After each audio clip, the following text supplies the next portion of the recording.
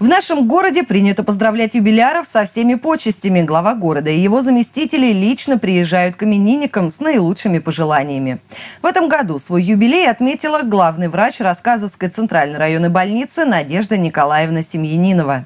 Этот теплый осенний день стал для Надежды Семьяниновой особенным. Сначала коллеги поздравили главного врача Рассказовской ЦРБ с юбилеем, подарив ей праздничное мероприятие, а затем и глава города Алексей Колмаков вместе с Верой Соколовой и председателем Рассказовского совета народных депутатов Сергеем Свистуновым поздравили именинницу с днем рождения.